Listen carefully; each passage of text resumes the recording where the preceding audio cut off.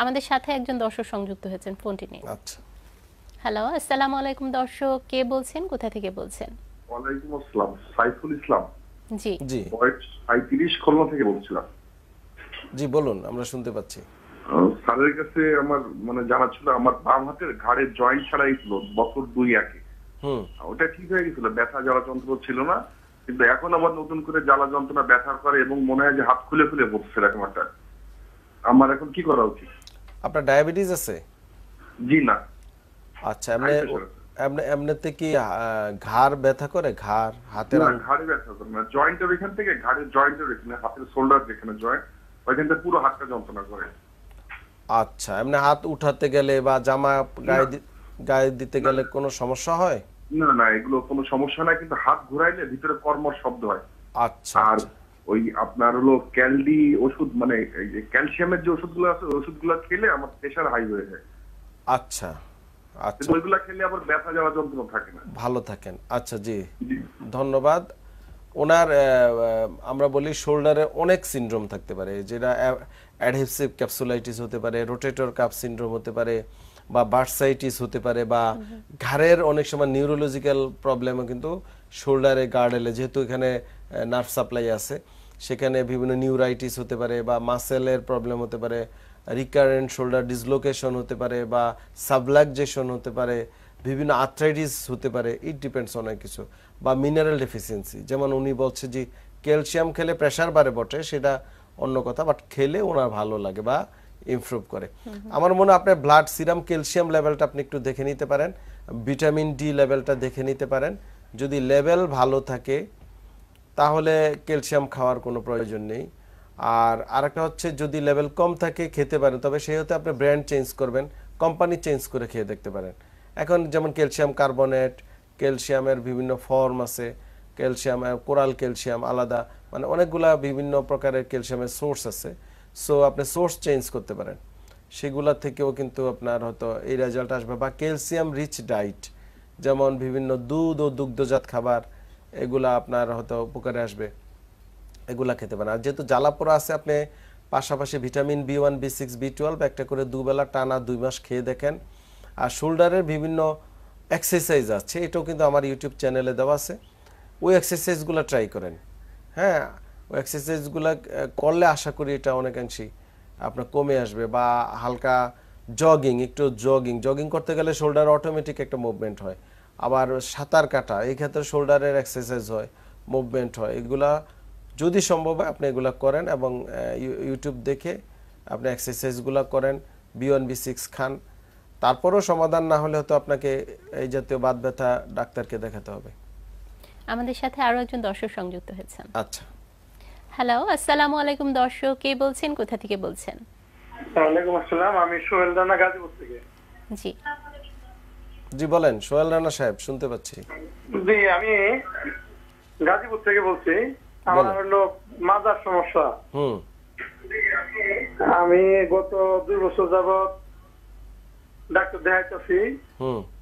কিছুদিন আগে এবং ডাক্তার ওই খাইছি ওষুধ খাইছি ক্যালসিয়াম কোরাল দিয়ে vitamin A B boost tablet বলে আর কি জেনারেল ফার্মাল এগুলো খাওয়ার পরেও কমতেছে না বাম সাইডের পাটা অবশ্যই যেতেছে আচ্ছা আপনার বয়স কত? আপনি কি করেন? আমি জেনারেল ফার্মার চাকরি করি। বয়স কত আপনার? বয়স পঁয়তাল্লিশ। আপনি কি মার্কেটিং এ জব করেন? ফ্যাক্টরিতে ফ্যাক্টরিতে আচ্ছা ধন্যবাদ আমি উত্তর দিচ্ছি। ওনাকে এখন একটা দ্রুত এমআরআই করে ফেলতে হবে। এমআরআই এর বিকল্প কিছু না যেহেতু কোমরের ব্যথা পায়ের দিকে চলে যায়। আপনি একটা দ্রুত এমআরআই করেন করলে আপনার সম্ভবত ডিক্স প্রলাপ, যেটা আমরা বলি বা পিএলআইডি বা সায়াটিকা বাদ বা স্লিপ ডিক্স এই একই রোগের অনেক নাম। এই জাতীয় সমস্যা আপনার হতে পারে, আমার কাছে মনে হচ্ছে। আর আপনি সেক্ষেত্রে B one B six B twelve এটা খেতে পারেন। মাসেল রিল্যাক্সিন যেমন টলপেরিসন বা ইপেরিসন, অবশ্যই ডাক্তারের পরামর্শে খেতে পারেন। পাশাপাশি পিএলআইডির বিভিন্ন এক্সারসাইজ এগুলো আপনি করে দেখতে পারেন। আর যেহেতু আপনি ফ্যাক্টরিতে সম্ভবত জব করেন, বলছিলেন ওষুধ কোম্পানি তো আপনার বসাটা দেখেন কারেকশন করতে হবে। আপনি কীভাবে কাজ করেন? ওখানে আপনার কাজ কি? ওই কাজের ক্ষেত্রে আমার কাছে মনে হচ্ছে আপনার প্রবলেম হচ্ছে, যে আপনার কারেকশন করা দরকার। যদি আপনি বসে বসে সামনে ঝুঁকে কাজ করেন বা একই জায়গায় দাঁড়িয়ে কাজ করেন, তা থেকে হতে পারে সমস্যাগুলো ডেভেলপ করতে পারে।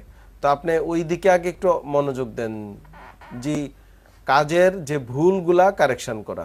আর পাশাপাশি একটা এমআরআই করে দেখেন। দেখা যায় যে যারা অনেক সময় পেশাগত কারণে যে অনেক ভারী বোঝা বহন করতে হয় বা লোড করা আনলোড করা এই। ধরনের কাজগুলো যারা করে থাকে তাদের তো ঘাড়ে ব্যথা হওয়া বা শোল্ডারে পেইন হয় এটা স্বাভাবিক। তাদের ক্ষেত্রে আপনাদের উপদেশ কি থাকবে? ধন্যবাদ আপনাকে। একটা শুধু এই লোড আনলোড না প্রত্যেকটা মানুষকে আগে ফিজিক্যালি ফিট হইতে হবে। আমি প্রায় রুগী পাই বিভিন্ন বাংলাদেশে। সে ছিল মানে ইয়াং ছেলে কোনোদিন সে ধান খেতে, কোনোদিন কাজ করে নাই, কোনোদিন বোঝা নেয় নাই, মোটরসাইকেল নিয়ে ঘুরতো। তো বাবা মা শখ করে বিদেশ পাঠিয়েছে, গিয়ে ওখানে তাকে, সে যেহেতু বিদেশ চলেই গিয়েছে, ওখানে গিয়ে তাকে হয়তো এই যে আপনি বলছেন, যে ভারী বোঝা নিতে হয়, মাথায় উঠাইতে হয়, সে তো অভ্যস্ত না আসলে। তখন উইদিন থ্রি মান্থের মধ্যে তাকে ব্যাক করতে হয় দেশে, কারণ তার ইনজুরি নিয়ে আমাদের কাছে আসে, বড় আকারে। তো এই যে কোনো কাজ করার আগে প্রত্যেকটা লোককে কিন্তু ফিজিক্যালি ফিট করতে হবে তাকে। কাজের জন্য উপযুক্ত করতে হবে তাকে অ্যাপ্রোপ্রিয়েট কাজটা করবে কীভাবে কাজটার কারেকশন করে দেওয়া তাকে এক্সারসাইজ দেওয়া ফিজিক্যালি ফিট করা যেটা আমাদের বিভিন্ন বাহিনীগুলা দেখবেন। একটা লোককে সিলেক্ট করি তারা কিন্তু কাজে দিয়ে দেয় না। ট্রেনিং চলে হ্যাঁ অনেক মাসের পর মাস বছরের পর বছর ট্রেনিং হয়। ট্রেনিংগুলো কমপ্লিট করলে সে ফিট হয়।